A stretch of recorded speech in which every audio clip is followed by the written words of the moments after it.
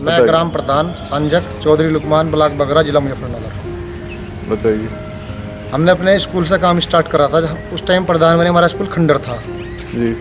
हमने इसमें खड़ोंचे लगाए बाउंड्री वाल बनवाई शौचालय बनवाए और पार्क बनवाया और सीसी जो है इसमें जो डली हुई है वो हमने अपने पैसे से अपने परिवार से गाँव के मोजिज लोगों से टाइल लगी हुई हैं कमरों में पत्थर लगा हुआ है सब हमने अपनी जेब से कराया है। गाँव में पानी की समस्या थी, ज़मीन नहीं थी। हमारे फादर ने 800 मीटर ज़मीन दान दी है।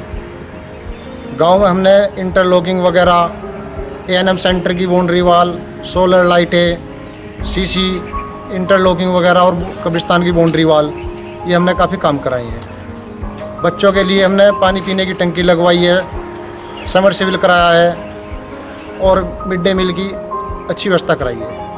और आवश्यकता आपके गाँव हमारे गाँव में आवश्यकता है मकान की। गरीब आदमी है यूसुफ।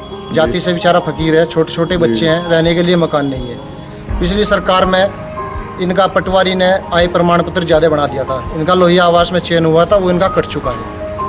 अब सरकार से हमारी मांग है गाँव में काफ़ी गरीब हैं जिनके पास रहने के लिए मकान नहीं है ऐसी सर्दी में खुले आसमान के नीचे अपना जीवन यापन कर रहे हैं। और पेंशन की दिक्कत है लोगों को। पेंशन नहीं मिल पा रही है। नई पेंशन के लिए ऑनलाइन किया हुआ है। जैसे विकलांग पेंशन के लिए तो किसी की विकलांग पेंशन भी नहीं आई है। ये बच्चों के लिए पानी पीने के लिए हमने टंकी लगवाई है। नल की सुविधा। नल की सुविधा। कितना टाइम हो गया? एक डेढ़ महीना हो गया।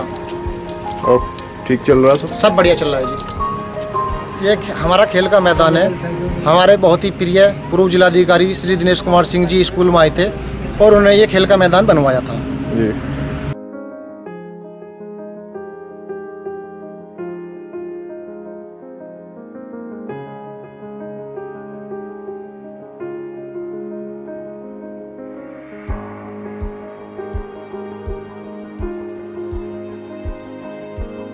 हाँ जी बताइए शौचालय के बारे में। शौचालय बराबर में कितना वक्त हो गया बनवाया हुआ?